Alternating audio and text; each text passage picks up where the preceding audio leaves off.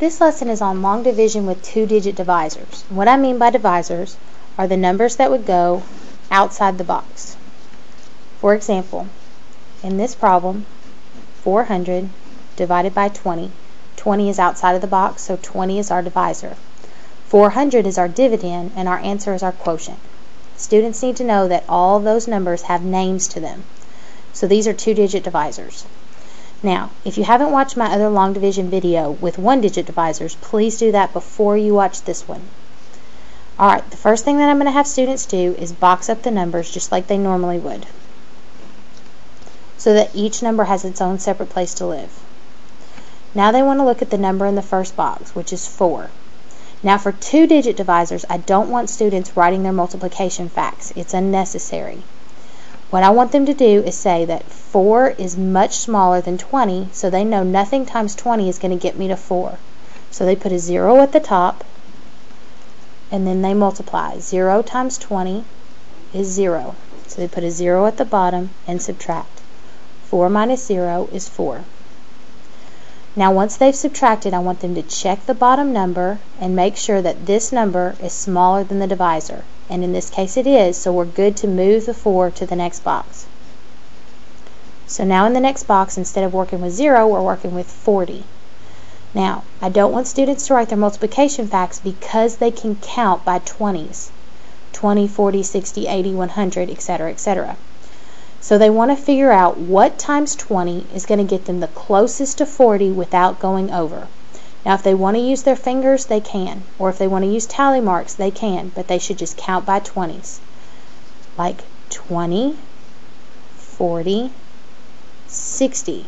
Well, 60 was too far. So what times 20 will get me 40? 20 times 1, 2. So 2 goes at the top. Then I multiply. 2 times 20 is 40. 40 goes at the bottom of the box and they subtract. 40 minus 40 is 0.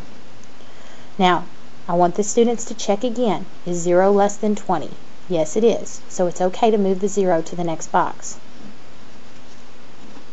Now they have 0 in the last box. What times 20 will get me 0? 0. So 0 goes at the top of the box. 0 times 20 is 0.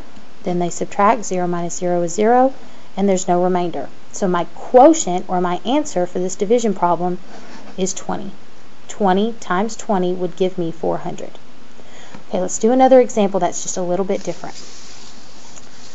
Okay, for this example, 360 divided by 20.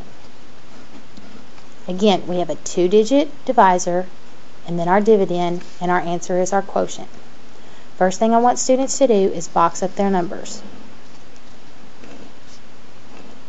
Then they look at the numbers and the, the number in the first box, and that's a 3.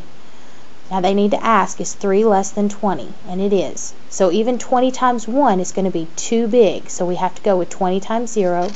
So a 0 goes at the top of the box. 0 times 20 is 0, goes at the bottom of the box. 3 minus 0 is 3. Now they need to check, is 3 less than 20? Yes, so it's okay to move it to the next box. So my new number is 36. Now again, they don't have to write facts for 20 because they can count by 20s. They can say 20, 40, okay? 40 is bigger than 36, so they've gone too far. So the only one they can use is 1. So 1 times 20 is 20. So 36 minus 20 is 16. Here's where it changes just a little bit. In this case, it was one digit that we were moving. But now we're moving two digits to the next box. Now 16 is less than 20, so we know we've done correctly, done the steps correctly. But we're moving two digits to the next box. So what I want students to do is underline those two digits in the next box. And I also want them to underline one digit of their quotient. So now instead of saying what times 20 will get me to 160, they can say what times 2 will get me to 16. It works with smaller numbers and it's easier for them to imagine. What times 2 will get me to 16? Well, if they need to count by 2s, they can. If they need to write their facts, they can. But most students should know by now that 2 times 8 is 16. So then I want them to check and make sure 20 times 8 down at the bottom. Now they can mark out the 0 and bring it down, and then 8 times 2 is 16. So 20 times 8 is 160, exactly where we needed to go. So at the top of the box, they put what number they multiplied by, 8. 8 times 20 is 160. 160 minus 160 is 0, so there's no remainder. So my quotient is 18. Now this is how we work the problems that end in a 0. Now we're going to go one step farther and work with problems that don't end in zeros. For example, if I have 533 as my dividend divided by my divisor of 24.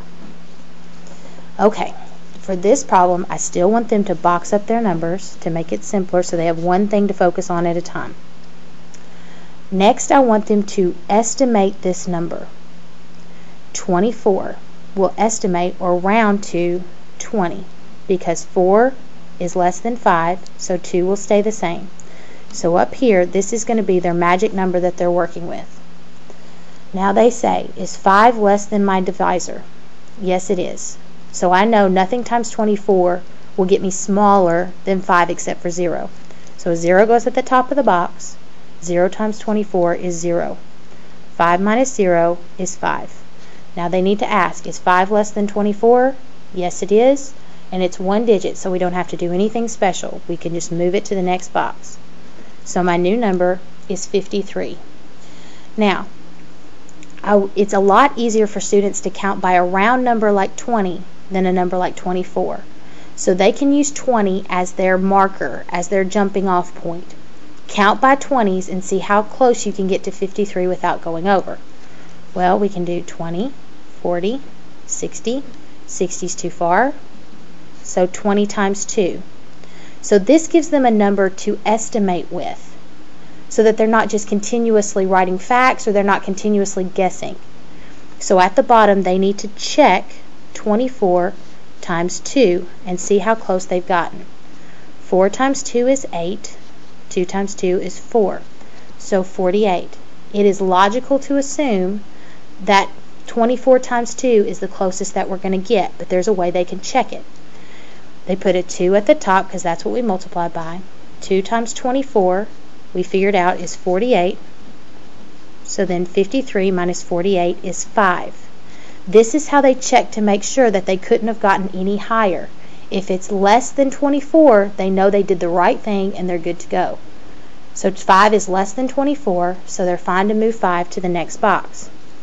Now for this problem, it's 53 again. Well, they already did it for this problem, so again they should say 2 times 24 is 48.